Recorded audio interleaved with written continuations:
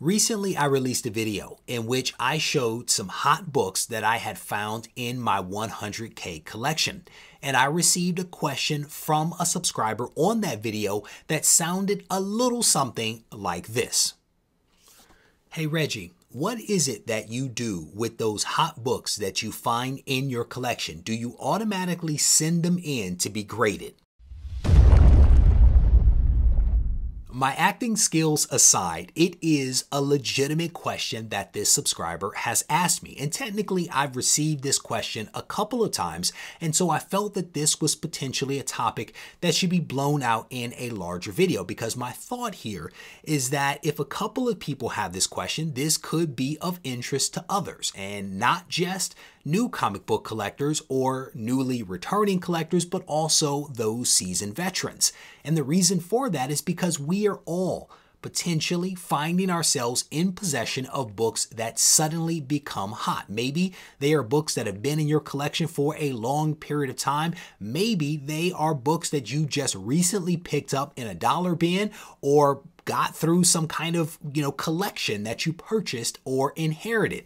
The question remains, what is it that we do with these books that are suddenly hot. And so in this video, what I hope to be able to do is to provide you some tips and pointers and things to consider so that you can decide what is in your best interest. Before we get to the tips, I want to take a moment to acknowledge the sponsor of this video, Shortboxed. If you haven't yet downloaded Shortboxed, I want to encourage you to take some time to do so. This app is the easiest and safest way to buy and sell graded content comics. There is a link down in the description. I encourage you to check it out.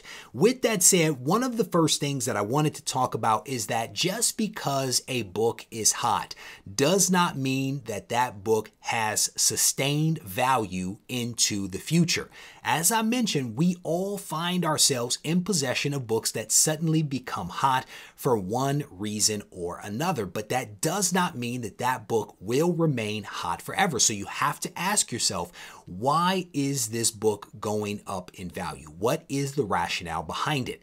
And there could be a ton of different factors that are contributing to this book going up in value. It could be the simple fact that a YouTuber released a video in which he or she talked about some kind of spec. There could be rumors out there. Heaven forbid, there could also be a little market manipulation at play. My point here is that not all things are nefarious, but you absolutely want to understand the rationale behind why this book is going up in value because the truth is is that maybe there is some substance there. Maybe there is something that is truly propping this book up that will result in some sustained values down the road. The other side of the coin is that potentially there is nothing there. It is all rumor. It is all smoke and mirror, and there is nothing that is contributing to this book truly going up in value other than the FOMO monster grabbing a hold of people. So you want to understand why is this book going up in value, and then you have to think about does this mean that there is some long-term legitimate potential for this comic? And this question will come into play as we work through the other tips. Tip number two is to consider selling that book raw. And I think this is an important thing that cannot be overstated. Not every comic has to be graded. Not every comic has to be.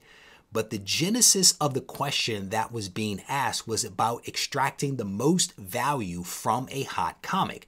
The best way to extract value from a comic is to have that comic be graded because now the subjectivity to some degree or another has been stripped away. The book has been sent off, it has been graded by a professional grader, it has received a grade. That grade can be referenced in a pricing guide, which gives you the ability to sell the book at that current FMV that you find in your preferred pricing guide.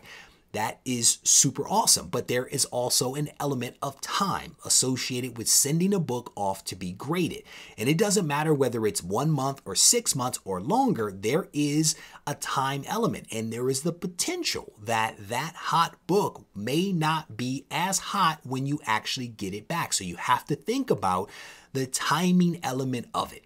And does it make sense to just sell the book raw and take that money while you can get it. Because to get a book graded, not only do you have to take some time, but you also have to spend some money to get it graded. What happens if the market dynamics have changed and that hot book is no longer hot? Now you've invested money into it and you may not be able to actually get that value out. So selling it raw could potentially be your best bet for making some money. And the truth is, depending upon when you bought the book, you may actually make some decent money. So you have to ask yourself what is really important. And again, is it best to sell it raw or graded? I don't know. That's something that you're going to have to think through. Tip number three is to go ahead and slab that book if it has some merit and thus long term value. If you consider why the book has become hot and you deem that rationale to be legit and something that you can actually buy into. It doesn't make sense to sell it raw. It might make sense to go ahead and send it in to be graded. That way, when the real opportunity presents itself, when that movie or TV show or trailer drops, go ahead then and pull the trigger and make even more money. But again, you have to take some time to think about those merits before just handing over additional money to invest in a comic.